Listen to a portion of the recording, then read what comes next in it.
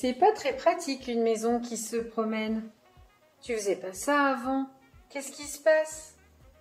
Pour résoudre ce mystère, Félix peut compter sur Mi, Prune, Diane et Bébé, des amis vraiment extraordinaires. Bonjour Mi. Ah bon? On a encore bougé? Oh là là Ça recommence, je ne sais pas où on est. C'est pas très pratique une maison qui se promène. Tu faisais pas ça avant, qu'est-ce qui se passe? Tu t'ennuies?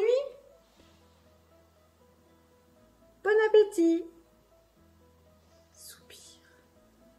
C'est sûr que si j'étais une maison avec une habitante comme moi à l'intérieur, je m'ennuierais beaucoup. Ben quoi? C'est vrai.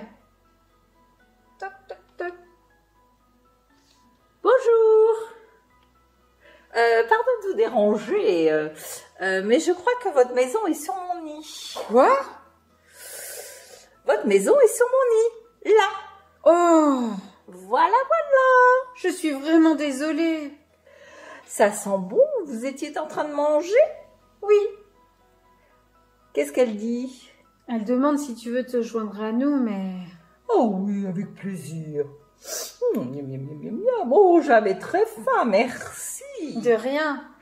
C'est très beau chez vous, euh, bien plus beau que mon ancien chez moi. Surtout maintenant qu'il est tout écrasé et détruit. Hum, désolée.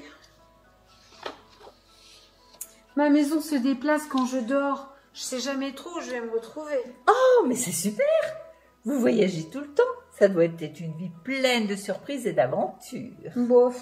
Oh, eh bien au moins, ça nous a permis de nous rencontrer. C'est vrai. Moi, c'est Prune. Enchantée. Je m'appelle Félix. Et elle, c'est Mi. Vous vivez ensemble depuis longtemps? Non, pas trop. Oui, oui, d'accord, je lui raconte. La première fois que ma maison s'est déplacée, c'était pendant une grosse tempête de neige.